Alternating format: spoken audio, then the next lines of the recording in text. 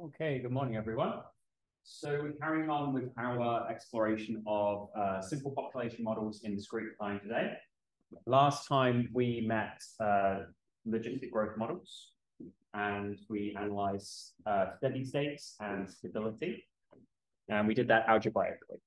Today, we are going to be looking at an alternative way that we can look at things using a geometric method known as cobwebbing. Okay, so I hope you guys have got something to draw with today because we'll be doing a fair bit of, of scaling. Okay, so what should you be able to do by the end of today? Well, you should understand this idea of cobwebbing and how to actually set these things up to, to analyze these models geometrically. And uh, this concept of something being asymptotic, okay? Um, that essentially means what happens in the long term. So you should be able to analyze these simple discrete time population models geometrically by the end of today. So what is this cobwebbing? Well, it's a technique that we can use to analyze the stability of uh, these models. So previously we used this algebraic approach of um, assuming that we can neglect all these higher order nonlinear terms and just zoom in and focus on what's going on really, really close to our steady states because pretty much close to, if you zoom in enough, everything looks linear. So that was the algebraic way of doing it. Um, here, what we're going to do is we're going to set up a diagram where we uh, move around that diagram based on our population size and our updating function. Okay, so what we essentially have is this, this web diagram, this cobweb, shows how the population changes from one time step to another. So it's, it's a bit like a time series graph. Okay, so what do we have? You can think of these as we're going to set up a, an XY plane here. So you can think of these as just being XY coordinates. So this here is going to be our initial population at N0. And then we're going to say, how does that initial population change? Okay, so how do we go from N0 to N1? So this is essentially telling us about the updating in that first time step. And then we go back to saying, okay, here now we have moved on to this N1. And then we carry on and we do some updating. You can think of this as being like our N0 step, then we have some updating. Then down here, we have our N1, then we have some updating, then we have our N2 and so on. Okay, so that's the basic idea of what we're trying to do. So how do we actually construct this? Well, the first thing we need to do is we need to set up some axes. So we set up our axes with our current population size n sub t on the horizontal axis and the next population size n sub t plus one on the vertical axis. So what does that look like? I'm going to zoom in and draw a little diagram here as we go along. So we have something like this, where we have nt here and nt plus one here. So that's the first step we do, set up those axes. We're next going to sketch our net growth function. In fact, I might switch these things around. I'm going to sketch the diagonal line first, because that's easier to do. Why do we want a diagonal line here? Let me sketch it first, and let's do it in this color here. So diagonal line where nt is equal to nt plus 1. Why do we want mm-hmm. that? Well, if we just go back to this previous slide here, we have all these points here, N0, N0, N1, N1, and so on, N2, N2.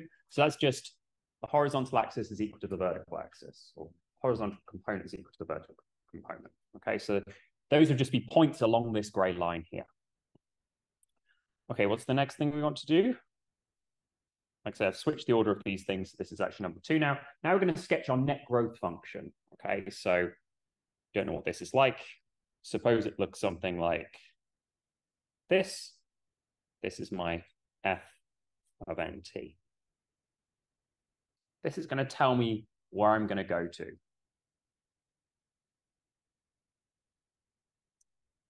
Okay, what next? Now we need to choose an initial condition n naught and then plot n naught n naught. If you recall from this previous slide here, this was this first point that we're going to start at. So I'm going to choose an n naught here. Doesn't matter where I choose it.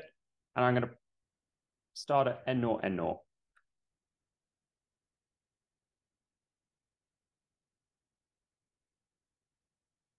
Okay, step number five.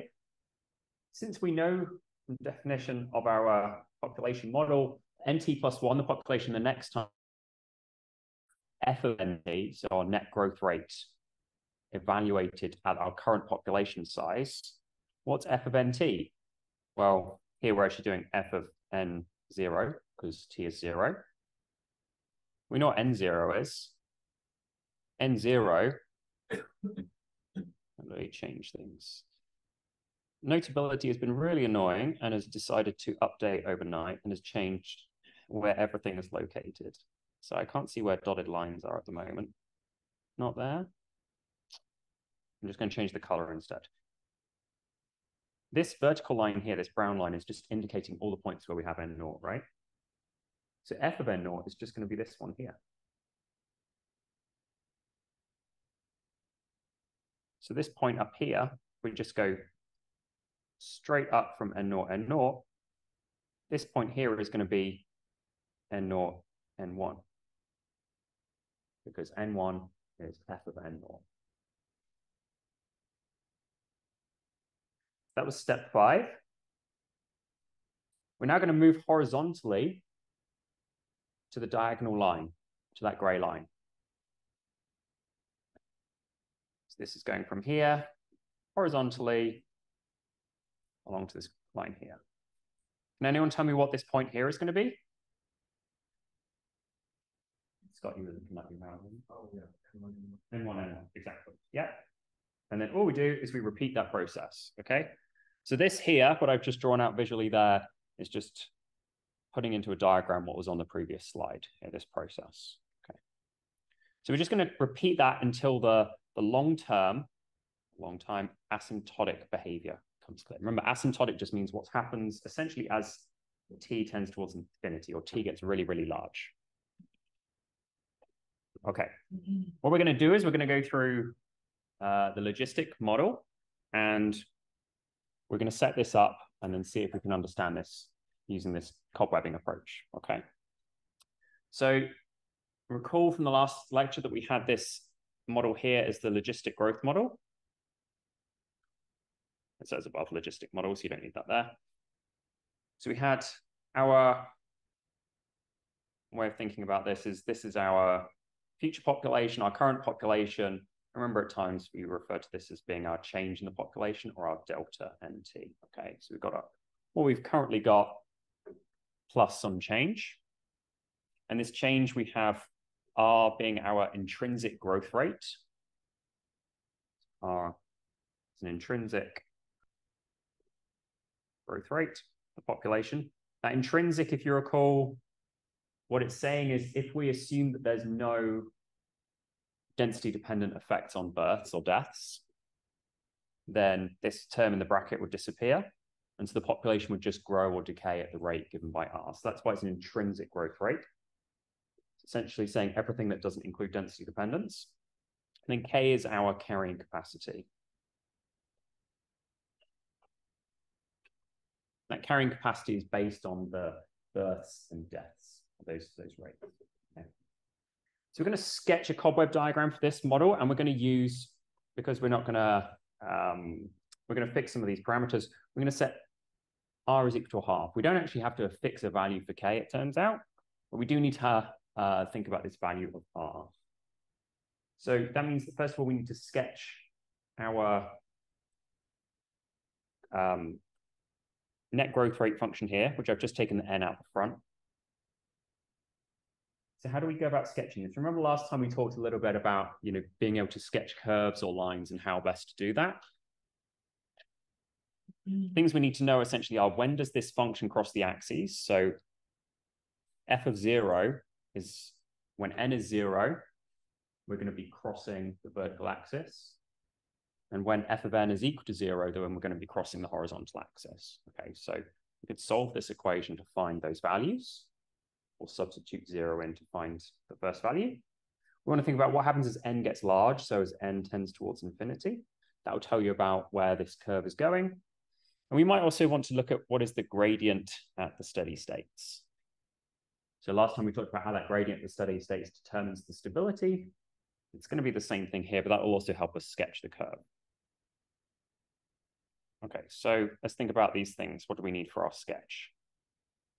So what is f of zero equal to? Yep, zero. Reason why is because we've got this n out the front. So f of zero is equal to zero. So that means we know that we're, our curve is going to go through the origin. What else do we know? Let's think about, we don't actually, turns out we don't actually need this bit, so I'm going to ignore that. It's a little bit harder to solve. What happens as f of n as n gets big? What happens to our function n as n tends towards infinity? As n gets really, really large, what happens to f of n?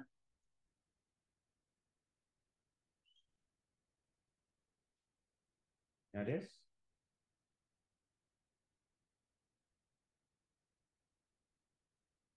Breakdown. This thing out here is going to get large and positive, right? That's just population size getting larger. This is just a constant, so that doesn't matter. This is just a constant, but that constant is multiplied by this 1 minus n over k. So what's going to happen to 1 minus n over k as n gets really large? increasingly negative, okay? So we're going to have something that's increasingly positive times by something that's increasingly negative. So that's going to be tending towards what?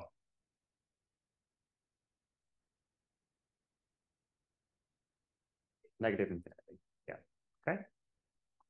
So if you're not sure about how to, to do these, just try and break it down into different components and see, okay, we've got something positive here multiplied by something positive by something negative and so on. Okay, what else do we know? Well, let's look at the derivatives. Sometimes you can get away with sketching these without looking at the derivatives, but we will here. So f prime of n. So let's take our derivative with respect to n. We did this last time. We had 1 plus r minus 2rn over k. We have this 2rn over k on the end because we have an n squared term. That's this bit here multiplied by this bit here. That gives us an n squared. So when we take the derivative with respect to n, 2 comes out the front and we reduce the power by 1. Okay, so what we need to do now is we need to think about what is the gradient of our function at these different points at our steady states, 0 and k. We know these steady states from, from last lecture. So f prime of 0 is 1 plus r. And we know that this is greater than hmm. 1 if r is greater than 0. And we're going to assume that r is greater than 0. In fact, we're told that r is a half. Okay. So we know that this is greater than 1. Why does that matter? Well, we'll come back to that in a sec. f prime of k is 1 minus r. So remember, this one was a little bit more complicated. We had that 0 is less than f prime of k, less than 1 if r is less than 1.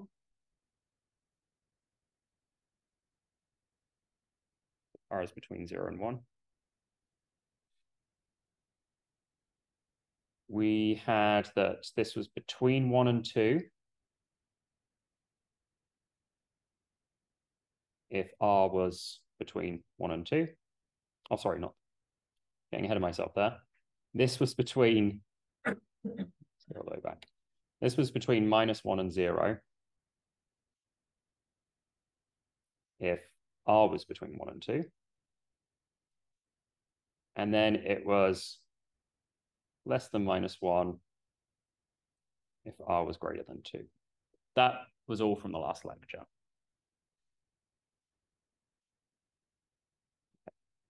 So we'll come back in a moment as to why that matters for this gradient. Let's have a go at sketching this cobweb diagram. So I'll sketch this, this one with you. Can anyone recall what's the first thing we need to do?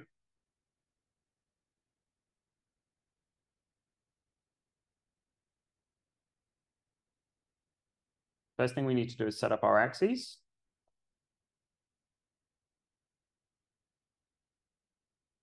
Whenever sketching these things as well, I don't know why, but students often make them really, really tiny. Especially in exams, this is like a complete bugbear of mine. They'll do something like this. There'll be all this white space and there'll be a tiny little postage stamp of a diagram. Make your diagrams nice and big. Makes them a lot easier to mark. You're a lot more likely to pick up marks if we can see what you've done. Okay, get off my soapbox. Do we get bonus points if we big diagram? Uh, you might get a little smiley face there. You're, yeah, maybe I should start doing that. Maybe I should start awarding bonus points. I'll think about it That's for for uh, for well drawn graphs. Okay, that's more of a, a carrot than a stick approach, I suppose. So we put nt on our, our horizontal axis, nt plus one on our vertical axis, okay? Next thing we need to do, can anyone remember the next bit? Sir? Yep, we can do that. What's the other thing that's that's good? That is what I originally had down. What was the other thing that, that I actually did first? The, drew the diagonal. Yeah, so you can do these either way. There's no there's no problem with doing them either way. Sometimes it's easier to do the diagonal here. Can you tell what's the gradient of this?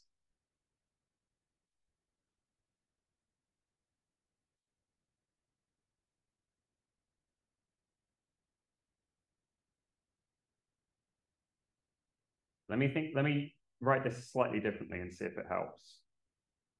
If this is y and this is x, and I draw the line y is equal to x, what's the gradient of that?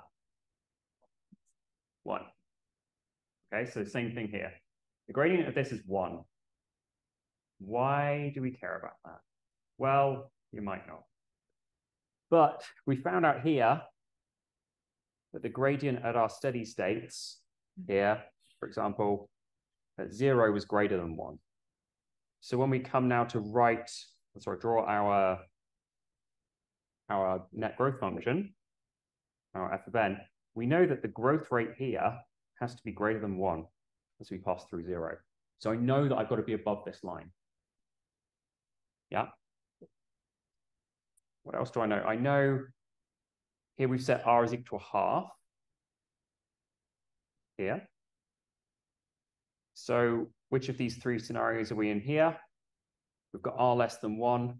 So we know that when n is equal to k, or nt is equal to k, our f prime is going to be between zero and one. So this is zero, and suppose this is k over here. I know that the gradient, I'm going to intersect here, because it's a steady state. My gradient is going to be between zero and one.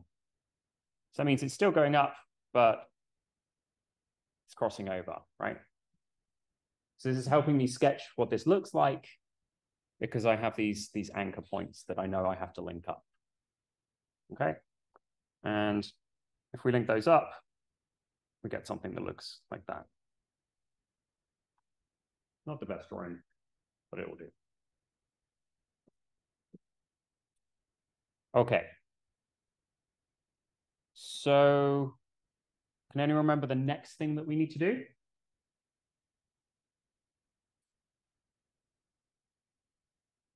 Uh, so we we we don't have to worry about whether this is going off. I mean, in fact, this keeps in going on for a while, but we we don't really care about what's going on beyond that. What what's the next stage of our of our cobweb diagram? Yep. Yep, so we need to pick an n naught. Doesn't matter where we pick it. I'm going to pick it here. This is going to be my n naught, n naught. So that's my initial population. What's the next thing we do? And not n1, right? So how do we work that out?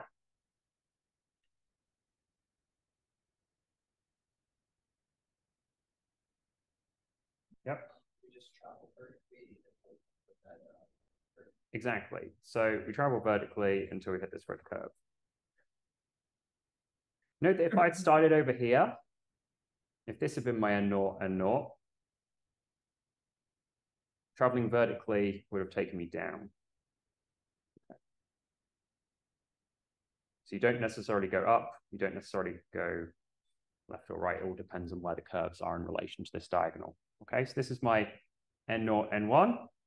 What do I do next? N1, N1, so that's just a horizontal line. Okay, in this case, going right to N1, N1. Okay. Carry on there and see what happens. Okay. So remember, all we're doing is we're going vertically, horizontally, vertically, horizontally, and so on. So I go up here. This will be my N1, N2. So my population is updating to that second time point. I go along here, N2, N2, up. In general, I would, you might want to write on what your N naught is, but you don't need to write what the, each of these coordinates are each time, okay? This is just to illustrate to you what's going on. Okay, we go in there. If I had started over on this side, I would have come down here and then gone along and down and along. Okay. So we've got two steady states here. Our steady states are where this diagonal intersects with our um, net growth function. That's because this diagonal line is nt plus 1 is equal to nt. So our next population is equal to our current population. So by definition, it's a steady state. So therefore, anywhere our growth function goes through that is also a steady state. So we have two steady states here given by these purple dots, n is equal to k and n is equal to zero.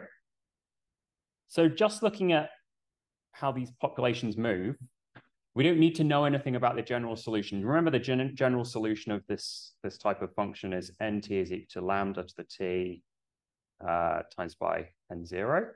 If you didn't know that, you could just sketch this out and you could figure out what's going on in the long term. So we see from this steady state down here, we move away from it. If I had actually started much closer to it, you would have seen again, I would still keep moving away. So that means that this is monotonically unstable.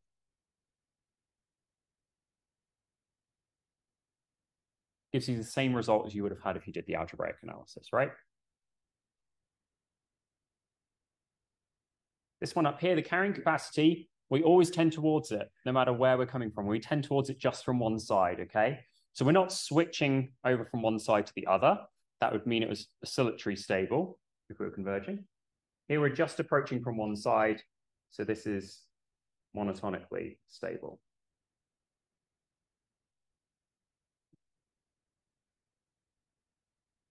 Okay what I want you guys to do now is have a go at sketching the same cobweb diagram, but we're going to be changing this R. So now we've got R is equal to 3 over 2.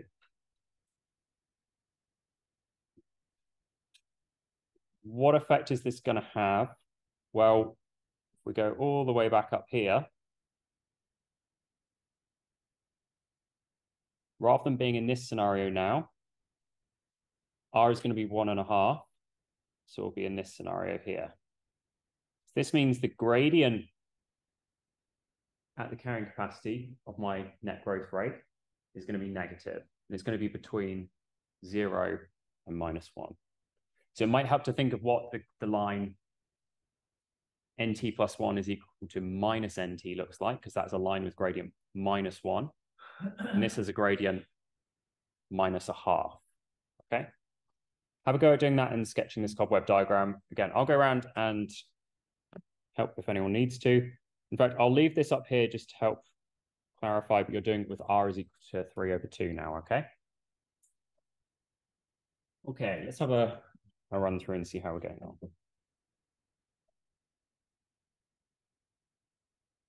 Like I said, it's like the main thing is often like knowing how to sketch these graphs um, and is an underappreciated skill is being able to sketch a curve accurately, okay?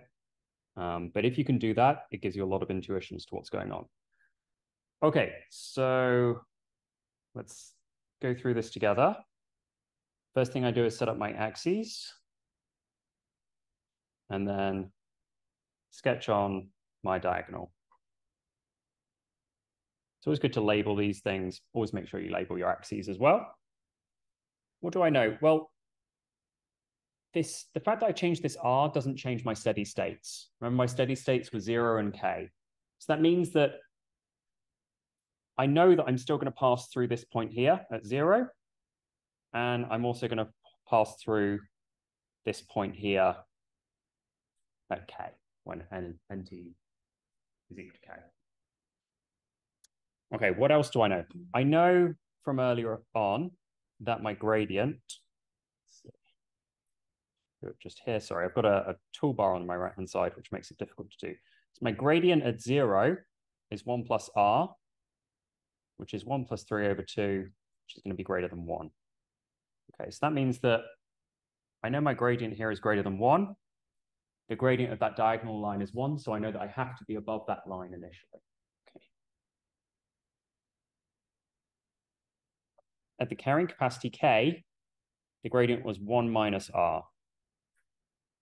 That's one minus three over two, or minus a half. So what does that look like? Well, this diagonal line has gradient one. A line that has gradient minus one would just look like that. We have gradient minus a half, so it's going to be somewhere in between that, okay? So it's going to be looking like this. So we're going up here and we're going down here. That means by definition, there must be a peak value, right? I must have gone up and reached some peak because I'm starting to come down, okay? Think of this as you're climbing a hill on this side, and you're coming down a hill on this side, you must have passed the top of the hill. So I don't know where exactly it happens. Suppose it's over here. I have to pass through the top of the hill before I can start coming down.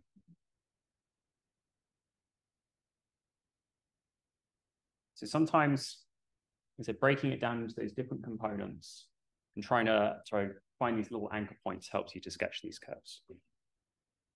Okay, now what do I need to do? I need to find an initial condition. I'm going to pick here, for example. Fact, this is N0, N0. Now I go vertically So update, horizontally, vertically. Now when I go horizontally, I've gone above my carrying capacity.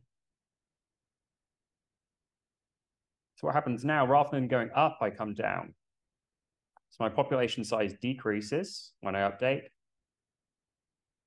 I move along to here. Now I'm below my carrying capacity, so my population size can increase.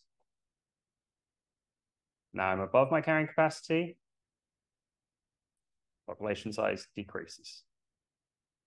You notice every time I'm doing this, I'm spiraling in closer and closer to my steady state. In fact, if I keep doing this, eventually I'll move in really, really close. So in the long term, I'll tend towards it. So this steady state down here, the trivial extinction one, is still monotonically unstable because we're always just moving away from it. Here, can anyone tell me what this is? Close. Oscillatory stable. Yeah. Oscillatory stable. It's oscillatory because we're moving either side of it. Whereas previously here, we approached it just from one side. The same side that we started on here, we're oscillating either side of it. But it's stable because we're moving closer and closer to it. Okay, so in the long term, we end still end up at K. It's just we're going under and over, under and over, under and over. Okay. Let's do one more. Now try this again, but with R is 5 over 2. I'll leave this, so I'll put it just here at the bottom so you can still see it. We're going to do it with now with R is 5 over 2. I'll leave this diagram up here to help. The key thing to remember here is the gradient I can draw it on in a different color. The gradient at this point here. This was a gradient of minus a half, so it's negative but not too steep. Now we're going to have an even steeper gradient and see what effect that has. Okay, have a go at that. Again, just put your hand up if you want some help. I'm happy to give some pointers.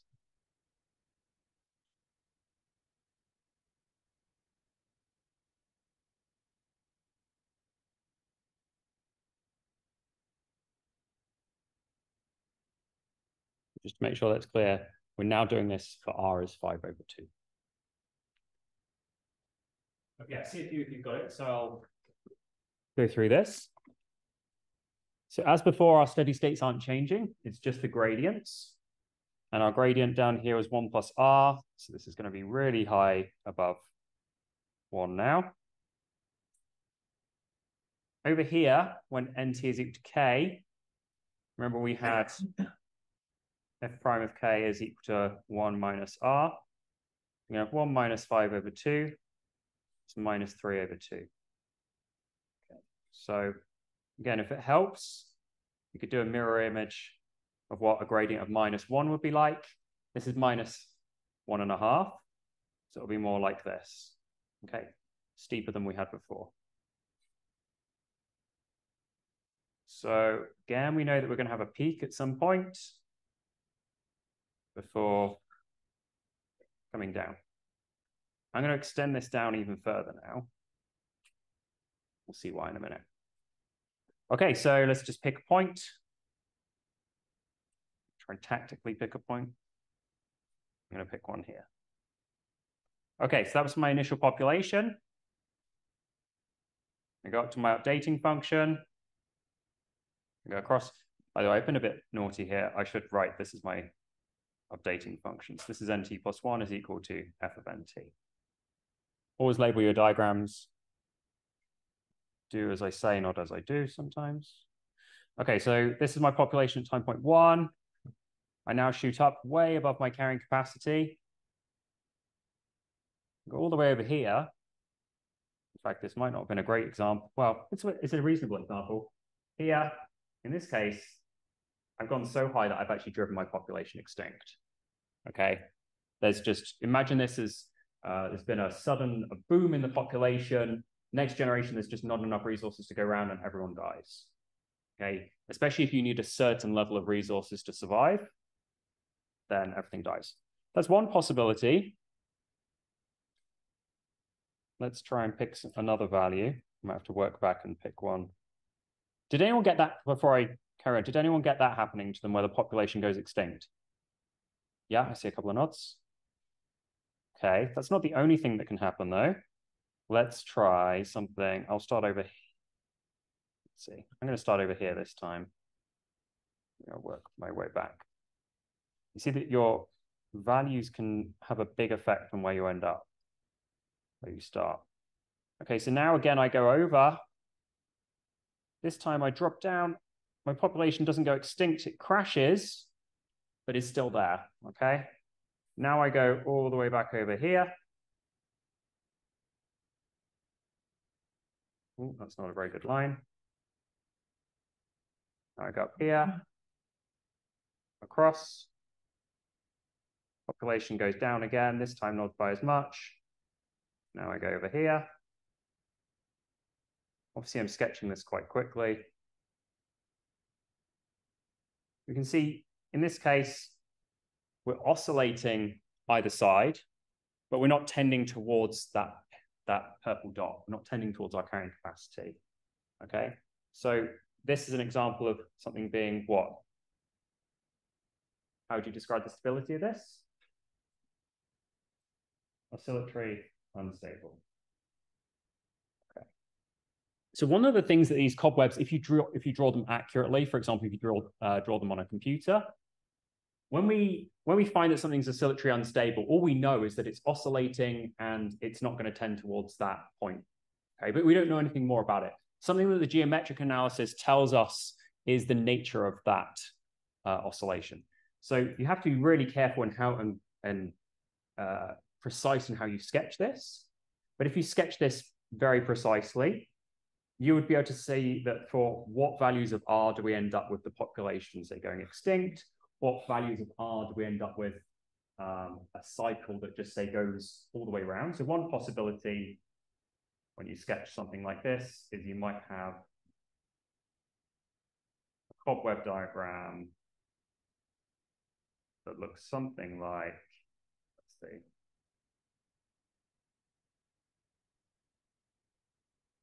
not a very good updating function.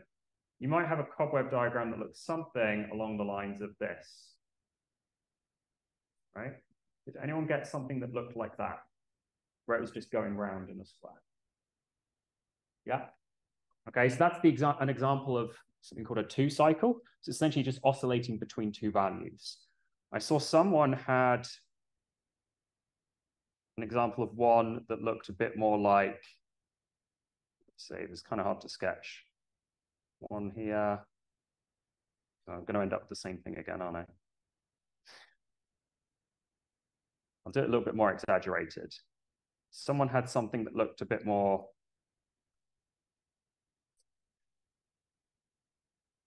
kind of hard to do it without changing my updating function again.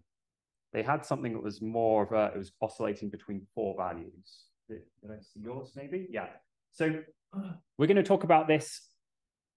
It's a terrible sketch, so I apologize for that. Quite difficult to illustrate without changing everything. The point is, the gradient that we have has a massive effect on the, the nature of these cycles. And we're going to talk about this next uh, lecture um, when we talk about things called bifurcations. We end up with things called period doubling bifurcations. So what it means is that as we increase the, uh, the net growth rate of these populations, we go through, we change the stability of the population, and it starts off being monotonically stable, and it's oscillatory stable, so we, we cycle in, and then it just cycles around this point, then it cycles around it with multiple stop-offs, say four different values, then eight different values, and 16 different values, and it ends up being chaotic in the end. We'll talk about what it means for something to, to be chaotic next time. Okay, that is it for today. There's um, another Jupyter workbook on Canvas if you want to work through an alternative model um, to have a go at uh, numerically doing a cobweb diagram. Okay. I'm here if you want to ask any questions. If not, you are free to go.